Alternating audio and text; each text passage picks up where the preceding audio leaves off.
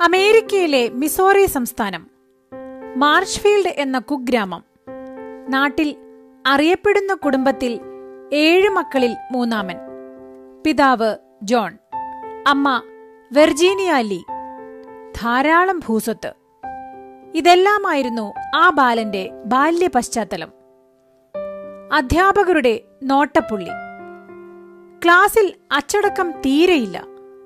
എന്നാൽ ആ അച്ചടക്കമില്ലായ്മയുടെ കാരണം മറ്റൊന്നായിരുന്നു. അധ്യാപകർ പറഞ്ഞു കൊടുക്കുന്ന കാര്യങ്ങൾ വളരെ വേഗം മനസ്സിലാക്കിയ ശേഷം സമയം പോകാനുള്ള കുസൃതികളായിരുന്നു അവയെല്ലാം. എല്ലാ വിഷയങ്ങളിലും മികവ്. പക്ഷേ സ്പെല്ലിംഗ് മാത്രം അറിയില്ല.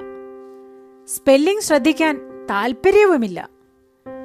ഒഴിവുവേളകൾ മുഴുവൻ ആകാശത്തേക്ക് നോക്കിയിരിക്കും.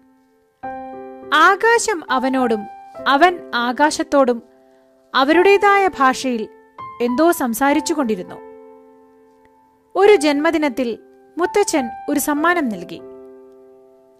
തോട്ടത്തിൽ മുത്തച്ഛൻ സ്ഥാപിച്ചിരുന്ന ദൂരദർശിനിയിലൂടെ ഒരു രാത്രി മുഴുവൻ ആകാശക്കാഴ്ചകൾ കാണുവാനുള്ള അനുവാദമായിരുന്നു ആ സമ്മാനം. ആ നോട്ടം അവിടം കൊണ്ട് തീർന്നില്ല. അതൊരു തുടക്കമായിരുന്നു. കോടാനുകോടി നക്ഷത്രങ്ങൾ നെബുലകൾ ക്ഷീരപഥങ്ങൾ പ്രപഞ്ചമൊട്ടാകെയും അതങ്ങനെ വികസിച്ചുകൊണ്ടിരുന്നു. ഒരു പിറന്നാൾ സമ്മാനത്തിലൂടെ ഒരു നക്ഷത്ര തിളക്കത്തിലൂടെ ലോകപ്രശസ്തനായ ജ്യോതിശാസ്ത്രജ്ഞൻ എഡ്വിൻ ഹബിൾ പിറവിയെടുത്തു. പിന്നീട് ഇതുവരെയുള്ള എല്ലാ ജ്യോതിശാസ്ത്ര കണ്ടെത്തലുകളുടെയും ആധാരശില എഡ്വിൻ ഹബിളിന്റെ നക്ഷത്രത്തിളക്കമുള്ള കണ്ടെത്തലുകൾ ആയിരുന്നു. അർത്ഥപൂർണമായൊരു സമ്മാനം അർത്ഥപൂർണമായ മറ്റൊരു തുടക്കമാകുന്നു.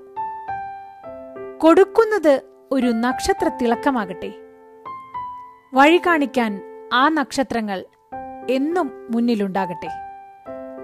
നക്ഷത്ര തിളക്കമാർന്ന ശുഭദിനം.